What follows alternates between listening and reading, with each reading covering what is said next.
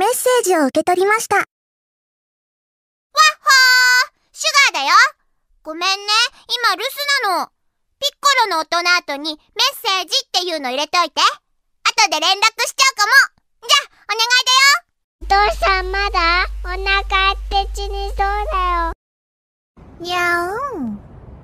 ゴロにゃーん。ゴロゴロ。